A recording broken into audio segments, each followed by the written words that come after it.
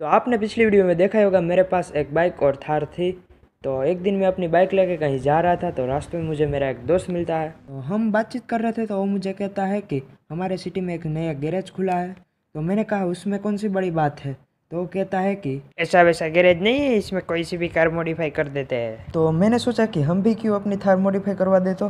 तो मैंने उससे एड्रेस पूछा तो उसने कहा कि हमारे सिटी के एयरपोर्ट के आगे गैरेज है वहाँ पे मॉडिफाई कर देते हैं सभी कार तो मैं अपनी थार निकलता हूँ और वहाँ लेकर चलता हूँ।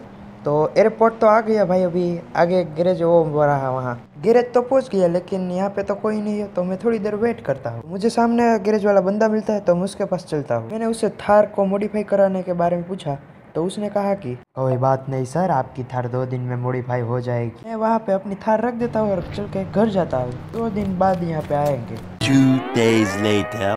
अपनी थार को गैरेज दिए हुए दो दिन हो गए। तो फिर चलो गैरेज चलते हैं पैसे लेके। पैसे ले लिए हैं, तो फिर चलो अभी गैरेज चलते हैं। तो अभी हम अपनी बाइक लेके गैरेज जाएँगे। बाद में हम अपनी बाइक वहाँ पे रख देंगे। बाद में कभी वहाँ से निकलेंगे तो वहाँ से अपनी बाइक लेके आएँगे। और चलो चलते हैं गैरेज। मैं गैरेज पहुँच चुका हूँ और पिछली बार की तरह यहाँ पे कोई नहीं है। गैरेज वाले भैया मुझे सामने दिखते हैं तो फिर मैं वहाँ चलता वहाँ पे जाने के बाद मैं उससे पूछता हूँ कि भैया मेरी थार मॉडिफाई हो गई? वो मुझे कहते हैं कि हाँ सर, आपकी थार मॉडिफाई हो गई है गैरेज के पीछे है। मैं उसे पैसे दे के गैरेज के पीछे चलता हूँ। अरे भाई साहब, ये तो हमारी थार को मोस्टर ट्रक बना दिया। वाह भाई वाह, मज़ा आ गया। चलो, अभी हम अपनी थार को चला के देखते हैं।